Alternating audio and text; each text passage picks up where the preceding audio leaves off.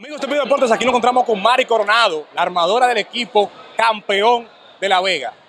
Mari, ¿cómo te sientes con esta victoria y tú siendo parte fundamental de este equipo? Me siento muy bien, gracias a Dios, porque luchamos mucho. Desde el inicio lo dijimos que íbamos a luchar hasta el final y gracias a Dios aquí estamos y obtuvimos la victoria.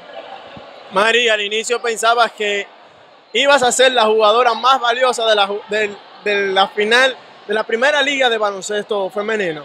Bueno, la verdad no, no sabía porque he jugado varios juegos como fuera, fuera de, de, lo que es mi juego, pero me puse positiva y puse la confianza en Dios y me puse a jugar porque lo que más deseábamos era obtener esta victoria para que ya llegara a La Vega con la copa.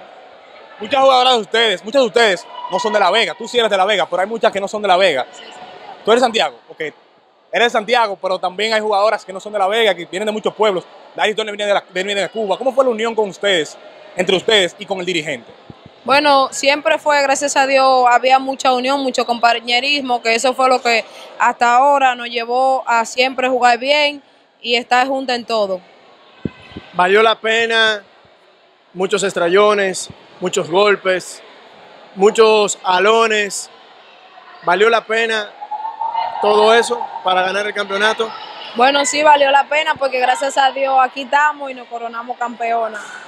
Ya por último, ustedes son campeona, pero ¿qué ustedes esperan del público ya para el año que viene y también de los patrocinadores? ¿Esperan que, que, haya, que haya, más apoyo y que esta liga siga, siga fluyendo? Sí, que haya más apoyo, que nos sigan apoyando porque el público de La Vega siempre nos daba su apoyo allá en la casa y espero que nos sigan dando su apoyo siempre.